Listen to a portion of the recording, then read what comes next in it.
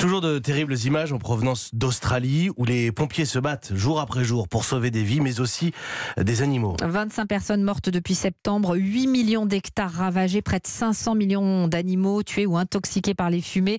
Des images spectaculaires qui mobilisent jusqu'en France grâce à des cagnottes en ligne, 5 à 100 euros. Certains contribuent à la hauteur de leurs moyens. J'ai surtout vu la vidéo du koala euh, qui a été sauvé mais malheureusement qui n'a pas survécu. C'est ce qui m'a poussé vraiment à, à, donner 5 euros.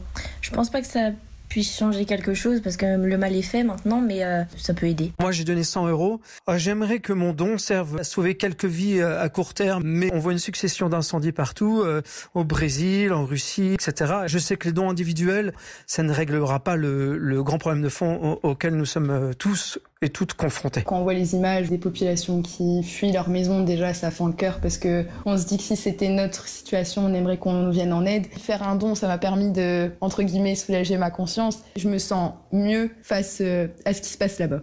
Des propos recueillis par Zoé Pallier et Alice Sangois. Et vous allez sur euh, soit sur europe1.fr, soit sur le podcast, euh, les podcasts d'Europe 1. À 5h40, Julien Pierce recevait le président de la LPO, Alain Bougrain-Dubourg, pour parler de, de, ces animaux menacés, mais aussi de leur environnement, de la difficulté que ce sera de repeupler ces zones, de, de soigner ces espèces endémiques. Écoutez Alain Bougrain-Dubourg, l'interview de Julien Pierce, c'était à, à 5h40 tout à l'heure.